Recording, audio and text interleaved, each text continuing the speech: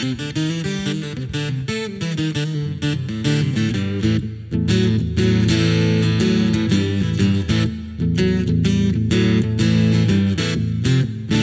The Godin A12 is a really remarkable instrument. It's designed specifically to deal with the dreaded feedback situations in live stages and live performance situations.